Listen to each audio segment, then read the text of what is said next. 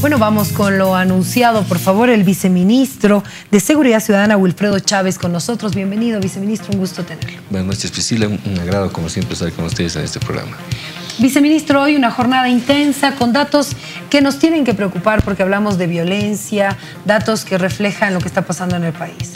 Sí, efectivamente, la, hoy hemos dado inicio a un taller eh, organizado por el Ministerio de Gobierno con la participación de la ONUBC, el, el INE, eh, eh, por supuesto la, la Policía Boliviana en un, y algunas entidades que participan en un primer nivel a objeto de analizar los datos que tenemos con relación a la violencia intrafamiliar y a la criminalidad, criminalidad en general. Ha sido una, un escenario importante. El Ministerio de Gobierno ha explicado eh, la técnica de la georreferenciación que hemos usado para eh, ver cómo el delito se encuentra, cómo evoluciona su dinamicidad. Hemos visto también, por supuesto, hemos, hemos presentado al taller los avances que tenemos con este sistema y la forma en que queremos que simplemente con el nuevo sistema BOL 110 de seguridad preventiva que estamos poniendo en el país hasta fin de año. Entonces ha sido un escenario muy importante. Hemos hecho nuestra presentación, hemos conocido a través de un experto internacional que llegó de México también, especialista en el tema, y mañana la, las mesas de trabajo van a sesionar en la mañana y al mediodía se va a clausurar el evento sumamente importante porque los datos son importantes a objeto de tomar decisiones como autoridades y como sociedad civil. Entonces estamos justamente con esta información, le digo eh, algún dato por ejemplo, que, que hemos por conocido favor. la semana pasada, más de 133 mil denuncias ingresadas al Ministerio Público la gestión 2017, de las cuales 33 mil corresponden al área de violencia intrafamiliar, la cuarta parte, no puede ser es un número realmente alarmante de denuncias que están eh, pues absorbiendo en gran medida el trabajo del Ministerio Público desde no es el último año, años atrás ha sido algo similar, uh -huh. pero en todo caso vemos que esa cifra da cuenta que unas 400 y algo más de denuncias por día ingresan al Ministerio Público, de las cuales unas 100 aproximadamente, si hacemos un promedio, unas 80, 100, son correspondientes a violencia intrafamiliar. Ahora, eh, viceministro, uno dice, sale la ley y empiezan a darse más hechos de violencia, feminicidios y demás. No. ¿Qué pasa con este fenómeno? ¿O es que ya hay esta reacción de denuncia de las mujeres? Lo que pasa es que se ha, se ha previsto, eh, la política criminal preveía justamente un tema que estaba oculto en la sociedad, una sociedad de corte machista, violenta por sí misma y que daba como, como normal el trato eh, displicente, el trato malo que se hacía a la pareja en ambos sentidos, pues no solamente es el varón, aunque mayoritariamente lo es siempre el varón, pero el porcentaje, el porcentaje es mucho más alto, 7 a 10, no 7 a 3, perdón, de 10. Eh, mire usted, entonces era un tema invisibilizado que con la ley naturalmente ha podido visibilizarse en la sociedad, ha puesto en su lugar y por eso tenemos este índice. Creemos que es importante el avance, por eso tenemos que tener en cuenta estos datos y luego en, en prevención, qué es lo que vamos a hacer con esta, eh, con esta situación, cómo combatimos el delito, ya en la misma persecución penal, cómo se investiga, cómo estamos con investigadores, con fiscales, con jueces, etcétera, y luego qué pasa con el sujeto en realidad desde que inicia la denuncia hasta que termina, cómo termina, con rechazo, con imputación, con sentencia o finalmente cumpliendo sentencia. Son varias figuras que tienen que ver y los datos son importantes. De ahí que con Naciones Unidas y el INDE hemos visto eh, sustancial realizar este tipo de talleres. Hemos empezado con este taller, van a continuar otros más que se van a realizar con otros eh, grupos también por especialidad y luego consolidar la información de manera responsable.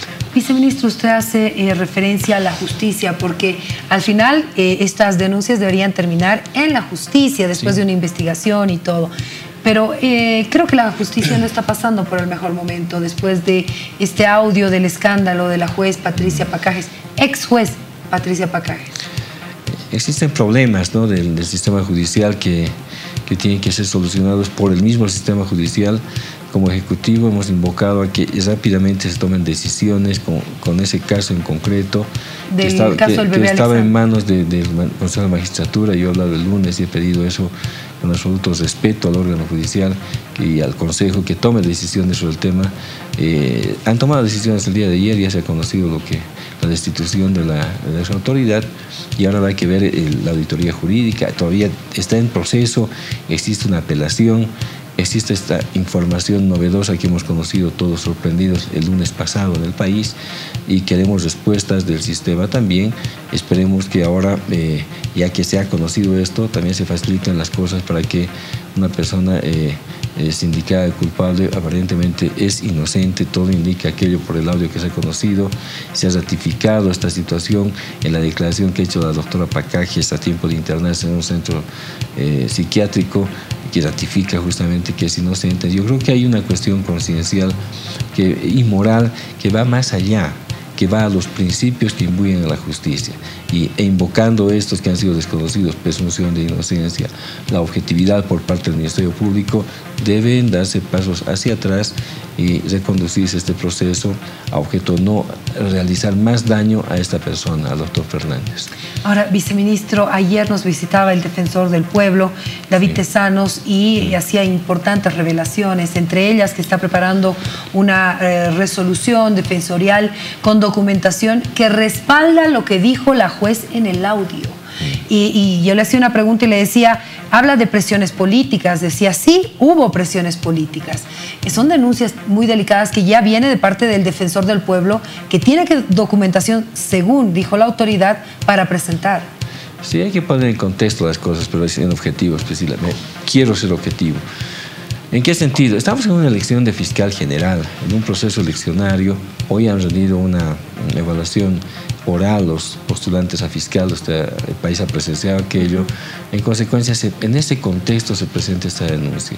Eh, también hay que ver eso, ¿no? Yo creo que no vamos a cerrar o no vamos a, a terminar con un sistema por este caso, sino que hay que mejorarlo, obviamente que hay que tomar acciones en concreto y en caso de existir esas denuncias, como se ha mencionado por parte del mismo defensor, pues que se, haga la investigación correspondiente. Cuando alguien tiene un caso, siempre se pregunta qué tiene que ganar o qué tiene que perder en su pretensión. El gobierno no tiene pretensión en esto, le puedo dejar muy en claro eso. Nosotros como gobierno, ninguna pretensión. No somos ni acusadores, no somos víctimas, hemos sido parte simplemente en alguna medida pidiendo que se acelere el proceso a través del Ministerio de Justicia. Esa es, eso es lo que se ha hecho porque se había suspendido recurrentemente audiencias en ese tribunal. Lo que se ha pedido por nuestro Ministerio de Justicia es que se aceleren las audiencias y que se llegue al final, por eran casi cuatro años del hecho y no había sentencia en primer grado.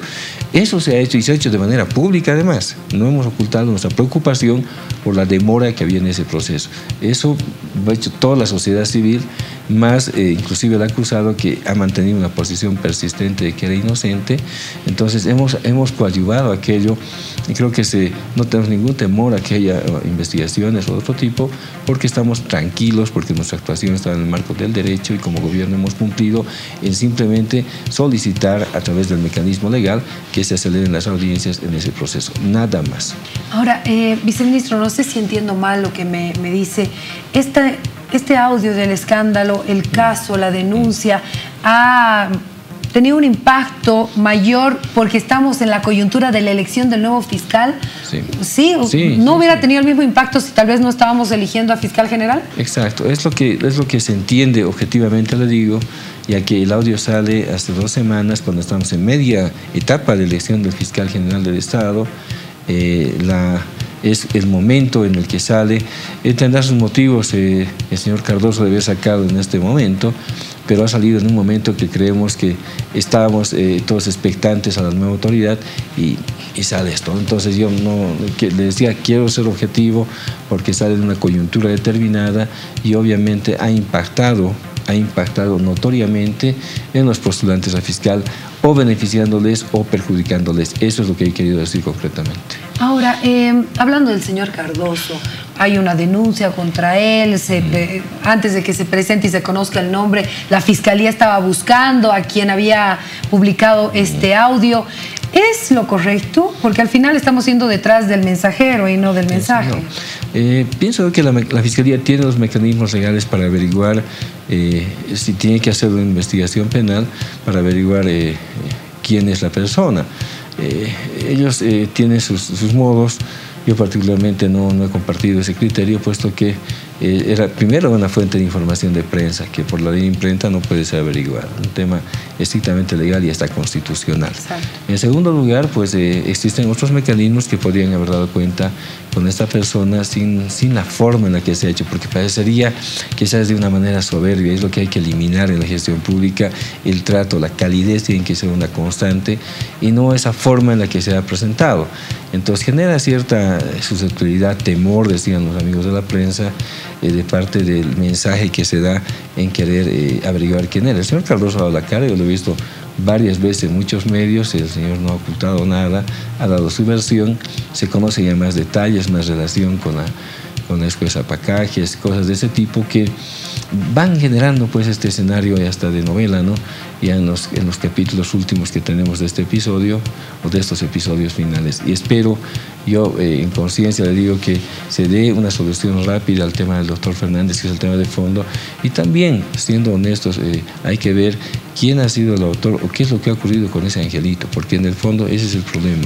¿Qué ha pasado con una, un bebé de ocho meses si realmente ha tenido problemas? Eh, internos en su salud que le han provocado la muerte o si ha habido efectivamente violación, porque lo que se ha dicho es que el antígeno prostático no correspondía al doctor Fernández, pero no se ha negado que existía antígeno prostático. Ojo, esa prueba no ha sido desvirtuada, entonces hay que averiguar quién ha podido ser, si es que ha ocurrido el hecho, si es que ha ocurrido el hecho, qué es lo que ha ocurrido específicamente. El Ministerio Público ha sido claro ayer en dar cuenta que habría ocurrido efectivamente el hecho, pero lo que no ha podido finalmente eh, cerrar es el apropiar el delito al doctor Fernández. Ese es el tema. Ahora, eh, pareciera que nos estamos olvidando de la víctima principal, que es el bebé eh, Alexander, ¿no? Es como que nos hemos concentrado en la inocencia del médico, que bueno, es un derecho que tiene que recuperar, pero más allá de eso, tenemos que saber la verdad. Así es. O sea, ¿qué pasó realmente con este bebé? Y hay alguien que lo sabe, o algunas personas que lo saben, y que hasta ahora no se devela. Así es, yo creo que la investigación ha tenido eh, serias dificultades con el cambio de autoridad. Siempre cuando hay un cambio de fiscal en una investigación trae problemas. Ha habido un cambio de autoridades ah, de la Comisión de Fiscales un par de veces y se pierde el hilo de investigación, el dibujo de investigación original puede no ser compartido por los nuevos fiscales. En todo caso hay problemas. Yo le digo que no nos olvidemos tampoco del tema de justicia en el caso de este, de este niño que necesita ser... Eh, averiguado y zanjado por la justicia. Y no dejado así, porque si se, anula el proceso y se quedan las cosas en foja cero o poco más, no vamos a llegar al fondo del tema, que era averiguar qué es lo que ha ocurrido en ese caso tan macabro que ha conmovido en su momento al país también.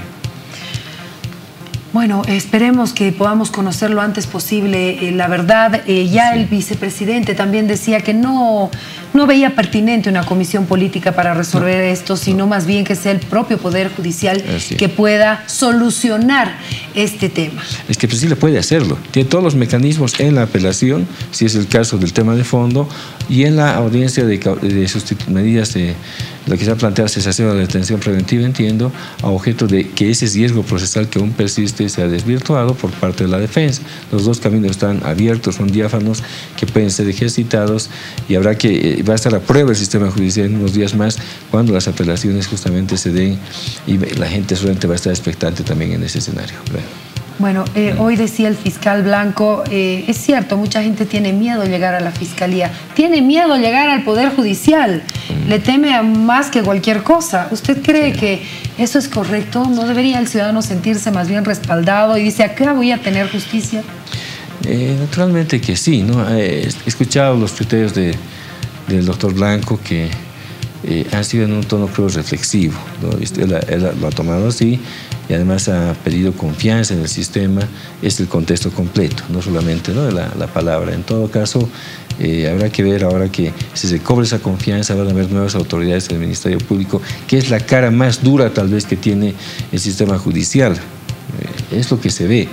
decía, el tema, eh, en temas de asistencia familiar, que son miles de casos que la gente está sufriendo por 300 bolivianos o 400 bolivianos de asistencia, nadie se conduele pero esa madre que pide ese dinero no tiene con qué alimentar a sus hijos. Eso no es, no es tal vez noticia, discúlpeme la dirección que haga. No es noticia, esto sí es noticia. Hay que ser objetivo, creo que hay que recobrar la confianza la justicia, pero hay que hacer serios cambios también a nivel institucional. Mañana, por ejemplo, el Poder, eh, el órgano ejecutivo está, está, se está promulgando la ley eh, para aprobar los nuevos juzgados en materia constitucional, que los nuevos juzgados que van a ser especializados en materia constitucional, que le da un nivel jerárquico absoluto a la justicia constitucional, una novedad que traemos para el país, a objeto de que esto sea ya un tema profesional y no vayamos a un sorteo en un juez que no es especialista en materia constitucional como ocurría hasta hace poco. Queremos institucionar la justicia constitucional y para ello se ha lanzado la ley. Un proceso queremos transparente como el de los notarios de fe pública, eso se pide al órgano judicial y este gran avance en la justicia constitucional esperemos ser implementado en los siguientes meses. Se decía que queremos que el primero, el 2 de enero, perdón, se produzcan los nuevos jueces en materia constitucional o vocales para tener ese rango y de esta manera la justicia constitucional camine ya de sus, de sus propios pasos, ya no sea parte efectiva de lo que es el Poder Judicial. Bueno, y eh, aprovechando el, criterio y el conocimiento jurídico que usted tiene justamente sobre este tema, eh, poniendo ejemplos claros, ¿cuáles van a ser las funciones? Muy bien, ellos van a, van a conocer sustancialmente las acciones de tutela amparos, acciones de amparo constitucional, acción de... ¿Que en este momento las conoce? Los conocen los jueces ordinarios. Jueces ordinarios. Al sorteo, a quien le toque, en materia civil, familiar y vocales de corte. Ese es el nivel. Entonces, tenemos una, una, variedad de jueces que pueden conocer cualquiera de ellos, que no necesariamente conocen materia constitucional, ni tienen por qué hacerlo, porque ellos son especialistas en civil o en otras materias y no necesariamente están con la justicia constitucional. Estos jueces van a ser... Eh, especialistas en materia constitucional y nos van a, espero, eh, esa es la esperanza justamente, que un proceso transparente como los de los notarios de fe pública se pueda contar con los mejores bolivianos y bolivianas para estos tribunales. ¿Y esto va a ayudar también a descongestionar el trabajo de jueces? Sin duda alguna la carga procesal se va a rebajar, puesto que los jueces actualmente cumplen esa doble función, se va a extraer esta, esta función, esta atribución para los nuevos jueces en materia constitucional, estos vocales que van a ser, le, le digo, a funcionar desde, este siguiente año, que es realmente el paso más importante que se da en la justicia constitucional desde la creación del Tribunal Constitucional. Eh, va a haber una instancia de apelación, me imagino. No, la revisión se realiza por el Tribunal Constitucional. Eso se mantiene. se mantiene, eh, pero la, la audiencia inicial se va a dar precisamente en estos nuevos juzgados. Muy bien, aprovechado de su conocimiento para que podamos hablar de esto también, adelantando un poco lo que va a suceder mañana. Le agradezco mucho por haber estado con nosotros. No, pues, es un gusto como siempre. Buenas noches, gracias. Gracias. Eh, tenemos recomendaciones a esta hora de la noche con noticias importantes.